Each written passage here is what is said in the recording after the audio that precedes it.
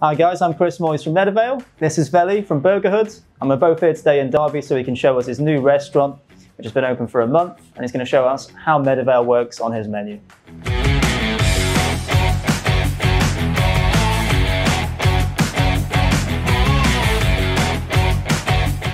So Veli, how's Meadowvale helped you towards the menu?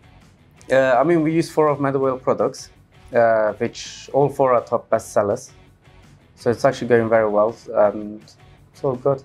Uh, I mean, with COVID, it delayed our opening because we were in the process of opening and the building work, uh, which delayed us by nearly two months.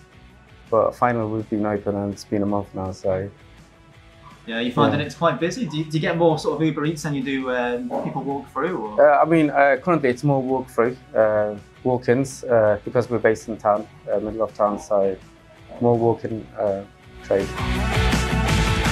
What, what's sort of the best seller at the moment then? What's Yeah. right at the top? Uh, it's Meadowvale Hot Crispy Chicken Burger that we sell the most currently by far. So it's actually going very well.